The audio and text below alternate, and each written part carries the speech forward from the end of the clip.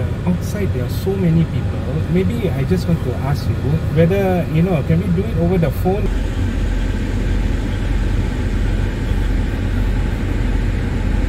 Yeah, I think is it, why why they moved over here? Is it because of COVID or?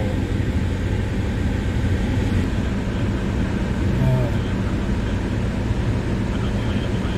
uh, yeah. Okay. Uh, you you are in the hospital or?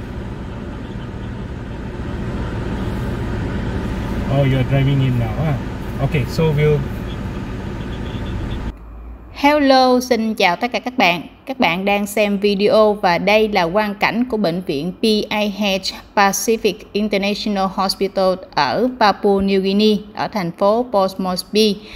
Đáng lý ngày hôm nay á, là mình đến bệnh viện này để lấy kết quả thử máu của mình nhưng mà trước cái quan cảnh cái tình trạng hiện tại á, thì mình đã không có thể nào vào bệnh viện được. Tự vì ờ, hôm nay thì ờ, bắt buộc là những người đi khám bệnh có lịch hẹn thì lại chuyển qua cái khu emergency.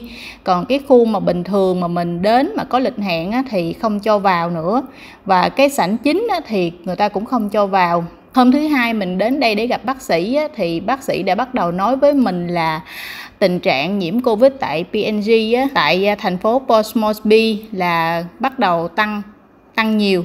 Và ngày hôm qua thì là cái ngày mình đến đựng mình thử máu á, thì mọi thứ vẫn có vẻ như là bình thường. Nhưng mà chỉ sau một ngày thì cái tình trạng bệnh viện này nó có rất là nhiều thay đổi. Mỗi ngày á lực lượng nhân viên tiếp đón bệnh nhân á, thì họ chỉ đeo mask thôi chứ họ không có cần phải đeo cái uh, siêu. Cái uh, tấm ngăn giọt bắn. Nhưng mà hôm nay á mình thấy là hai người nhân viên người ta tiếp nhận bệnh nhân và người ta đều phải đeo. Cho nên trước cái tình trạng này á thì mình nói với chồng á là mình không thể nào đến bệnh viện được. Thì à, có thể là ngày mai bác sĩ sẽ bố trí một cái à, chỗ để làm việc nó an toàn hơn cho những người mà không có bị covid y như là tụi mình. Thì mình sẽ đến đây một lần nữa.